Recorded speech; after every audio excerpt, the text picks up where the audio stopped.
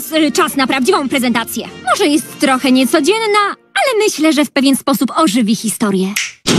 Prezydentem szesnastym pan Lincoln był, a wzrost jego metr 93. On wierzył, że każdy człowiek w kraju USA to fakt. Do wolności swe prawo ma. Takie głosił rację, spisał proklamację. Dokument, który dał nam emancypację. Ale Stany z południa poczuły presję. Unia won, o nie! Czas na secesję. Prezydent jednak widział jasny niewolnictwem po prostu nie zgadzał się. Założyciele kraju też chcieliby tutaj każdy wolny mógł być. Wiecie już, to był spoko gość. Wiecie już, to był spoko gość. I dlatego słychać brawa wciąż. Wiecie, że Lincoln to był spoko gość. Czuję, jakby Lincoln był tu dziś z nami. I celujący.